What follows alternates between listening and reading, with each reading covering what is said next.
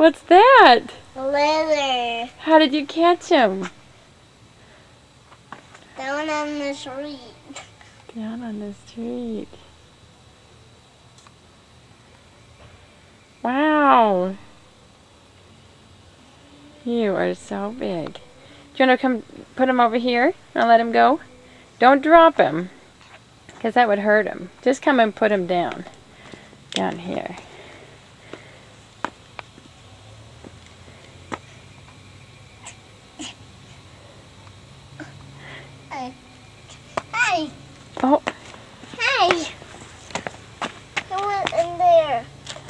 Oh.